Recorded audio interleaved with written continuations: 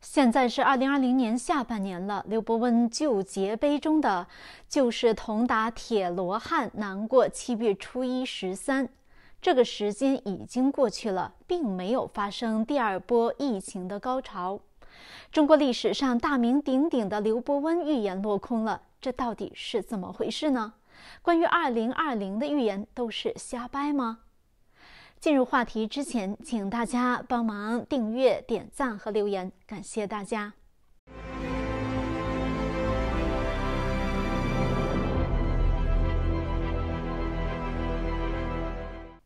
大家好，欢迎来到脑洞 vs 黑洞，我是李欣。现在二零二零年已经过去大半年了，此前大家谈预言，很多人都谈到了刘伯温和他的旧节碑，也叫陕西太白山刘伯温碑记。其中明确的说道：“就是铜打铁罗汉，难过七月初一十三，任你金刚铁罗汉，除非善乃能保全。”很多人对此的解读是，瘟疫第二波的高峰期是七月初一十三，是农历的七月初一十三。我们在第一期预言帖口句句惊心，二零二零年下半年是否更可怕那一集中也是这么解读的。但是现在已经九月份了，大家感受到的还是岁月静好，疫情是比较平稳的。其实一个多月前呢，我在那个视频的下面已经给大家留言了，说这个刘伯温的预言已经不准确了，很可能今年八九月间不会出现疫情的高峰。我当时之所以这么说，还是有一定根据和分析的，请大家耐心的等到最后，到最后我们给大家揭晓，为什么大名鼎鼎的刘伯温这个预言不灵验了呢？难道刘伯温是江湖术士、路边算卦这种人吗？当然不是，历史上鼎鼎大名的刘伯温呐，可是很有来头的，他是朱元璋的军师，大明朝的开国元勋，被称为著名的军事家、政治家、文学家。他上知天文，下晓地理，博古通今。他给后人留下的预言，包括著名的烧饼歌、金陵塔碑文，还有这个旧节碑文，涵盖后世了几百年的历史大事件。他是与诸葛亮齐名的大预言家。民间流传说：“三分天下诸葛亮，一统江山刘伯温。”刘伯温辅佐朱元璋，从一个讨饭的和尚，一步步地登上了皇帝的宝座，开创了大明朝两百七十六年的基业。而且，他多次运用他未卜先知的能力，帮助朱元璋克敌制胜，甚至还在关键的时刻救了皇帝的性命。而刘伯温的这些神奇的事情，在史书上都有记载。有一次。朱元璋不听从刘伯温的以静制动的建议，亲自出兵。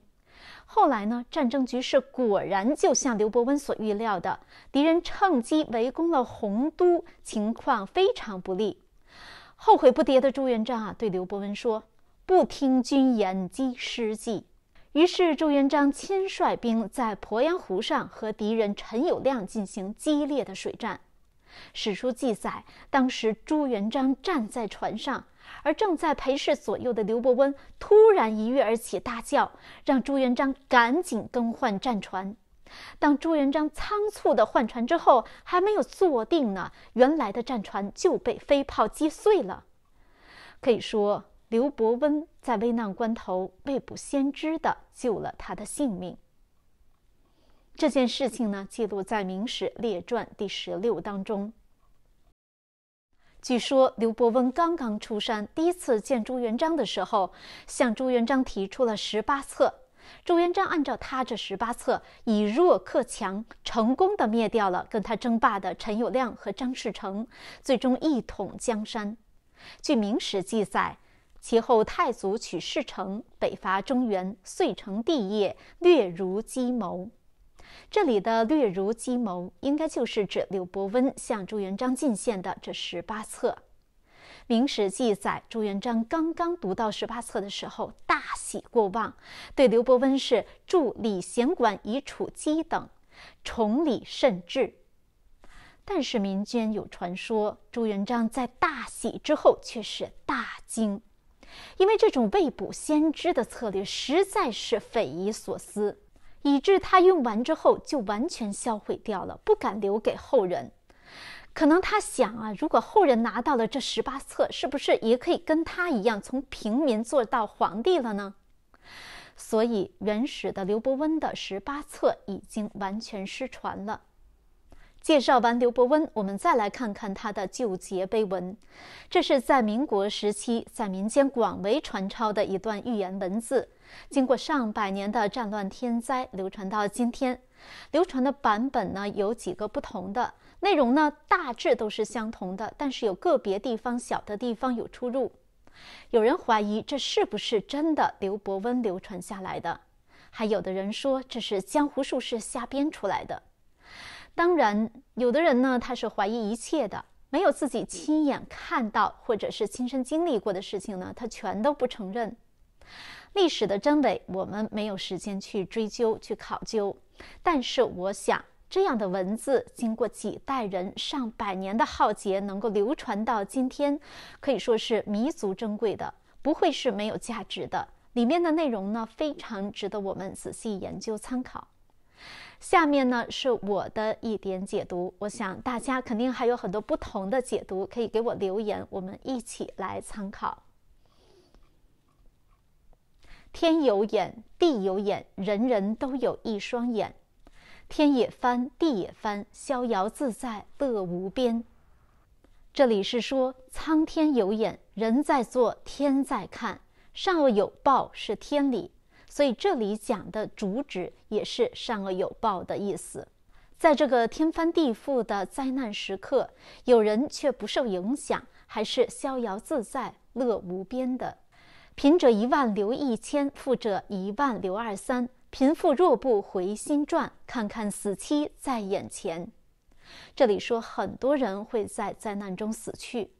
但是我之前的节目中有讲过，一万留一千的情况不会发生。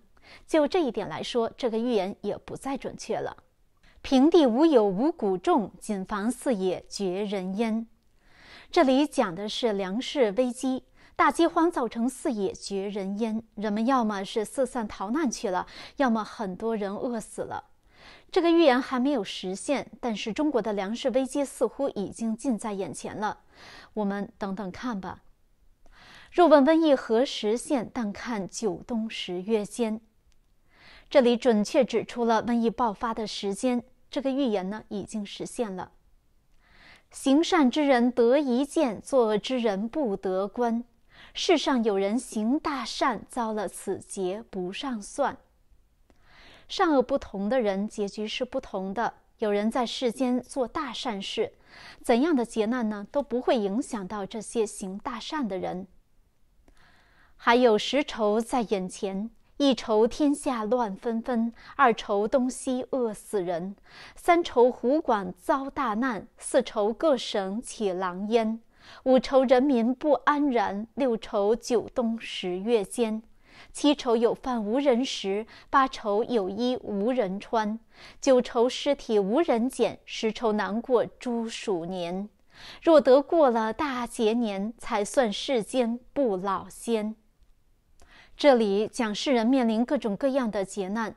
我之前的节目有谈过五行之劫，这里提到了瘟疫、饥荒、战乱等等。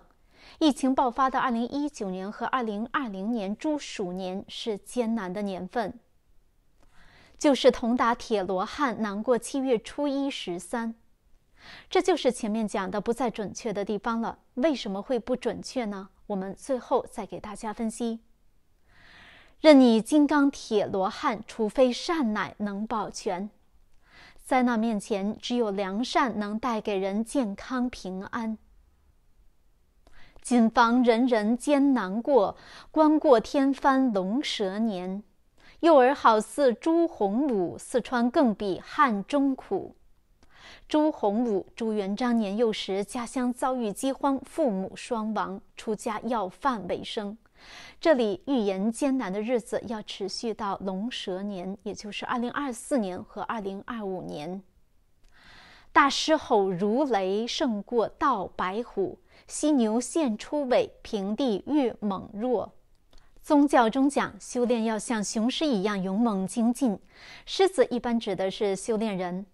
大狮吼如雷，像雄狮一样勇猛精进的修行者，在世间发生救度众生，胜过盗白虎。隐含的意思可能是说，今天修行者在网络发声救度世人的影响力，超过很多其他的声音。若问大平年。架桥迎新主，上元甲子到，人人哈哈笑。问他笑什么？迎接新地主。上管三尺日，夜无盗贼难。虽是谋为主，主坐中央土，人民喊真主。这里讲众生欢天喜地迎接救世主的到来。银钱是个宝，看破用不了。果然是个宝，地下裂不倒。现在人们把钱财看成是宝贝，但是还有比钱财更好的宝贝，能够让人屹立不倒。七人一路走，引诱进了口，三点加一钩，八王二十口，人人喜笑，个个平安。人都知道这是个字谜，但是具体的解读却是五花八门。七人一路走，引诱进了口，是个真字。真字的古代写法，顶部是个七字，一横在古代常作横折，类似走字的底。八王二十口，从上往下排列就是个善字。三点加一勾，按照中国古代的拆字方法，勾拆开是两个字包和思，包加上一点是个任字，思加两点就是心字。上任下心是个忍字，真善忍这个宝贝让人人喜笑颜开，个个平安吉祥。刘伯温最后留下来的字谜，就是人们走过劫难的宝典。难怪经过百年的沧桑，几代人的传抄传承，人们都虔诚地把这段文字保留下来。陕西太白山刘伯温碑记，整篇看下来，很多内容非常的准确。虽然有的预言还有待时间的检验，但是为什么七月初一十三这句话落了空呢？既然刘伯温肯定而明确地把具体时间写出来了，很可能历史上就是这样安排的。但是到今天改变了，为什么改变呢？古人讲。天时、地利、人和三个因素合在一起，决定事情的结果。人为的因素在某种程度上能够改变原先上天定好的安排。圣人说：“人心的改变就会使事情向正面转向。”不是刘伯温的预言不准确，而是世间更多的人心向善。把原本安排的七月初一、十三的瘟疫再度大爆发的灾难推迟了，或者是减轻了。大家注意啊，我可是说是推迟了或减轻了，我没有说这灾难不会再度大爆发。这场源于中国武汉肺炎的瘟疫被称为中共病毒，被中共控制、荼毒、欺骗越深的地方，受到瘟疫影响越重。有人把它看成是天灭中共的一个过程。想想美国政府从武汉肺炎全面爆发以来，一直大刀阔斧地跟中国进行脱钩，在国际社会赢得了越来越多的同盟，形成一个自由价值的联盟。整个国际形势变化非常大。还有美国十一月初将进行大选，如果瘟疫在大选前全面爆发，会对选情产生极大的影响。想来预言不准确，真的是个天大的好事。现在的每一天都是给人们改变观念、找寻真相、归正自己、人心向善的机会。所以，尽管有灾难，未来还是充满着希望。好人会一生平安的。今天的节目就到这里了，非常感谢大家的收看，请您帮忙订阅和传播这个频道，请帮忙点击小铃铛。我们下期再见。